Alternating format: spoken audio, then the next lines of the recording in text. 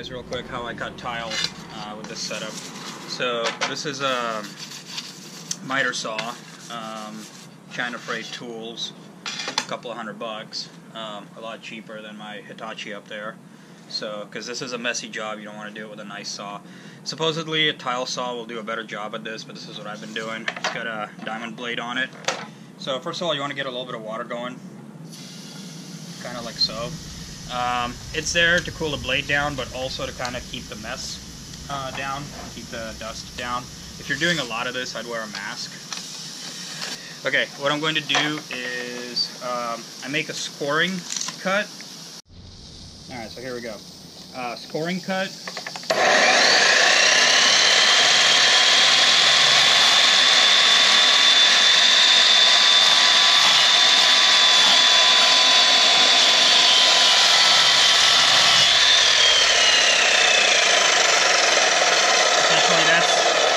That there is what we're looking for. And then I'll rewind this up. And then we do our two plunge cuts. And do them quick, because if you don't do them quick, that's how you chip your edges.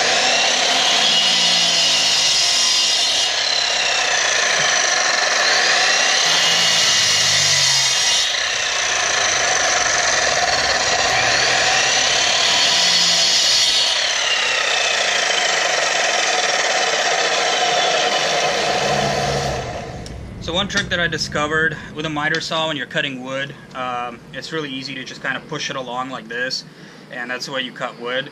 Um, that chips the tile, uh, so the way to do it um, without chipping the edges and getting this nice straight cut is by doing quick plunge cuts and not letting the blade stay there where it starts to chip off the fascia.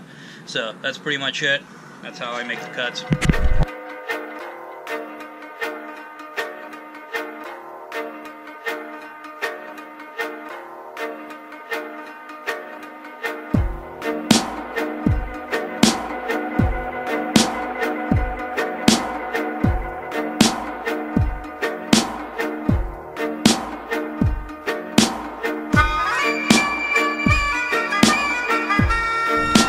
So instead of just throwing a few 2x6s under the tub like the previous owners, I decided to build a proper platform out of pressure treated lumber that would be able to support two people being in the shower at the same time.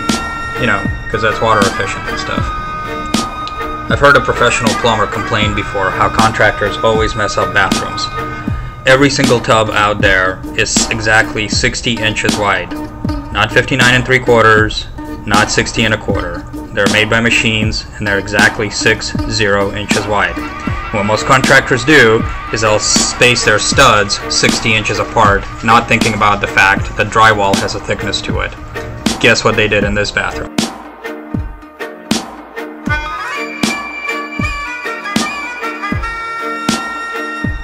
So the next step was to apply the grout. You go through the edges with a special diamond tool to clean them up from any thin set that may have squeezed in there.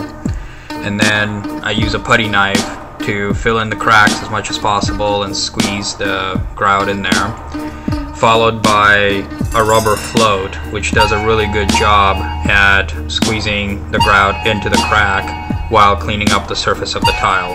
Then it's sponge, sponge, sponge.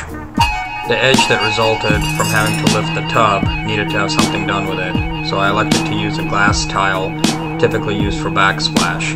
I've never used this stuff before, but here's how it went.